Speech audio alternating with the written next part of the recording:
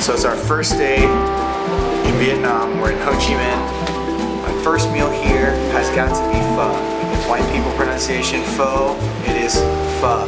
This is it. Forget that turtle tower, you know, all about this, you know, I want I want a different style pho. We're here in Ho Chi Minh City, we're in the south.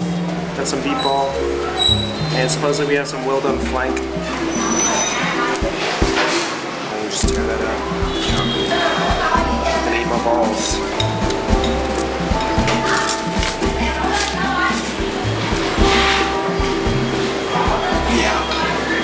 Hitting the spot.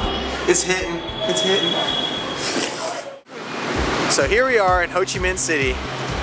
We've got our sunglasses, which we thought would repel the street vendors away. That doesn't work. But we did get Debbie, who came all the way to San Francisco to visit us. Now, we gotta take you to a nice night market, or day market in this case, to get great Vietnamese food in Ho Chi Minh. What kind of girl are you, Debbie? I'm an alley kind of girl.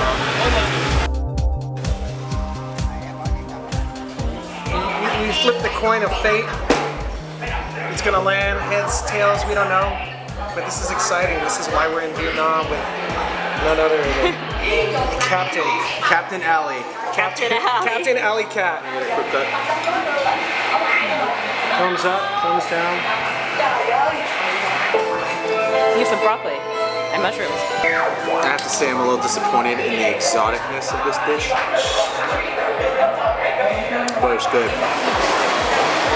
Now, I have balls when it comes to eating some exotic stuff, but I draw the line.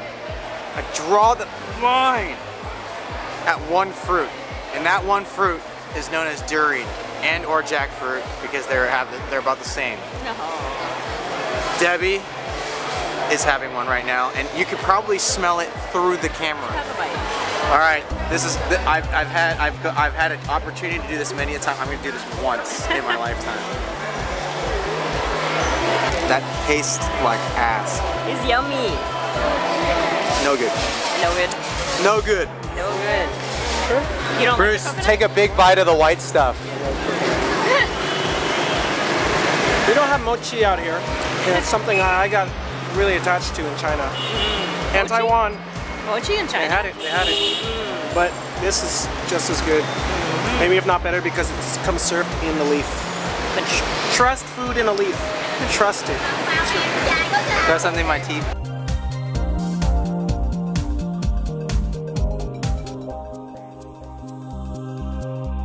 stuff in it like I have. For Debbie. Thank you. Dripping.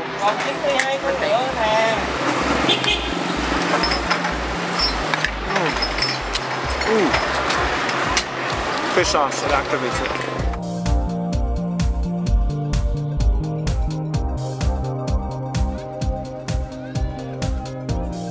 As your nutrition coach, I highly recommend you avoid starches at night.